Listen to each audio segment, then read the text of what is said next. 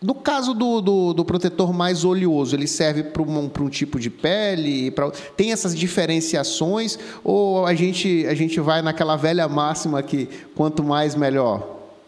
Tipo, por exemplo. Entenda que os protetores, assim como nossos, os produtos dermatológicos, são veículos, né? Uhum. O que, que é veículo? Eu posso ter um produto pomada, posso ter um produto creme, posso ter um produto gel creme, posso ter um gel, posso ter uma loção, posso ter uma emulsão.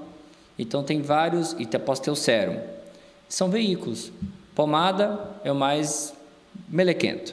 Uhum. O que creme... a base de pomada é óleo, né? Óleo. Isso. É igual misturar água e óleo. Uhum. Os protetores hoje em dia mais secos, a gente chama de water, não é à toa, água. Uhum. Então ele tem uma cosmética mais agradável. Respondendo à pergunta, Stênio, o protetor solar óleo, pomada ou creme, ele é mais protetivo que o gel? Não. Que o water? Não. O grau de proteção deles são os mesmos o que vai mudar é a cosmética, porque aí vem o brasileiro. Uhum. O brasileiro, especialmente, o latino, mas especialmente o brasileiro, ele é muito mais criterioso, enjoado com relação a, a questões de cosmética. Tanto é que você pega um protetor da La Roche, que é uma empresa francesa, multinacional no Brasil, é uma composição, lá na matriz é outra. Ah, o produto que é lançado no Brasil é diferente é do diferente. de lá. É diferente, a embalagem vai estar toda igual, provavelmente. Só que mesma franquia, mesma marca, tudo igual. Só que a qualidade, a, a questão desse término vai ser. Porque não tem como eu usar um, um produto pomada aqui, diferente do Canadá. Como é que vai usar um gel no Canadá? Ah, Por causa da questão do clima. Porque um vai craquelar, não vai ter, não vai conseguir absorver, outro não, outro vai absorver demais e vai ficar escorrendo nos olhos, vai fazer uma alergia de contato e tanto mais.